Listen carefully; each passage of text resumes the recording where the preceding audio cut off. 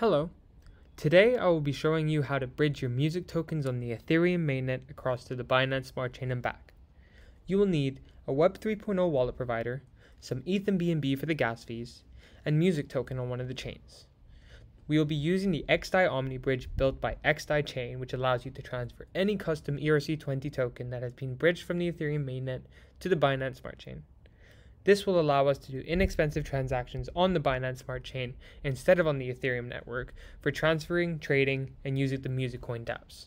But please, only use this bridge for large amounts of music token.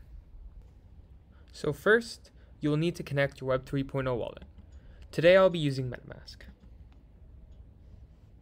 Once you have been connected, you will notice in the top right, it will tell you the direction and the chains you'll be operating with. First, Select the ETH to the Binance Smart Chain. Now make sure you are moving from the Ethereum mainnet to the Binance Smart Chain. And you can switch using this direction right here.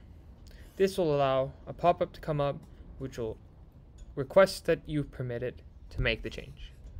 As you can see, I have switched back and forth.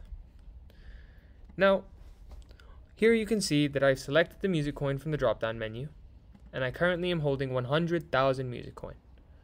I will be transferring that over to the Binance Smart Chain.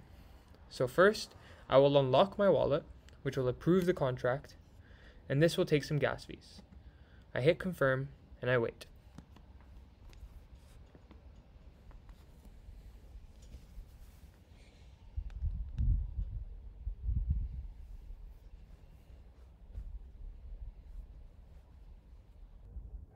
Now that the contract has been approved, I'm able to transfer my music tokens from the Ethereum mainnet over to the Binance Smart Chain.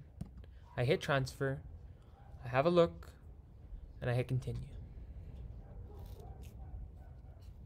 A new pop-up will come up with the gas fees that are required to make the transfer.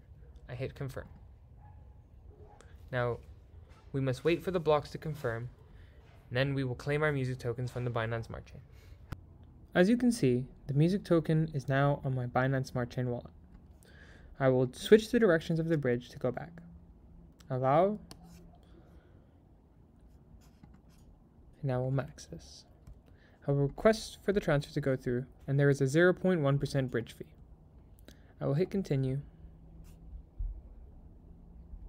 Pay the 0.0015 BNB, and await for the block confirmations again. Once the confirmations have been processed, you will be prompted to switch to the Ethereum mainnet again. This will be to claim your music tokens from the bridge.